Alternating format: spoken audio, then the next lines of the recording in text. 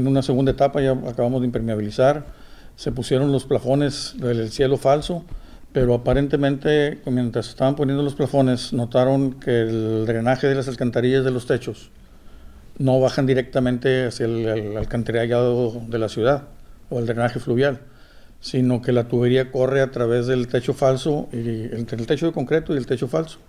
Entonces, al parecer ya la tubería es muy vieja y en ciertas partes está colapsada. Por eso es que cuando llueve, se nos llueve nomás esas, esas partes en gran abundancia, ¿verdad? Porque baja toda la, la tubería y es lo que nos colapsa los, los plafones. Eh, la tubería era muy vieja, es de fierro vaciado. Todavía este hospital es como de los años finales 70, principios 80. Entonces es una tubería muy vieja. Ya estamos empezando a cambiar, o hacer el presupuesto para cambiar toda la tubería a PVC, ¿verdad? Sí, para que no se vea tan, tan mal los techos, ¿verdad? Con la posibilidad de que si llega a llover, pues otra vez pudiéramos tener ese, ese, ese problema pero ya lo tenemos detectado en las áreas que son, ¿verdad? Entonces vamos a cambiar en lugar de sheetrock a, a poner que sean galletas para que no sea tanto el, el, el daño que se haga, sino más que sea una, una sola parte la que se dañe.